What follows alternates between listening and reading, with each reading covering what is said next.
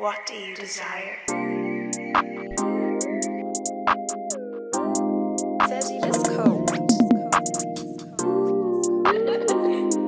Hey yo, JD, where you find this?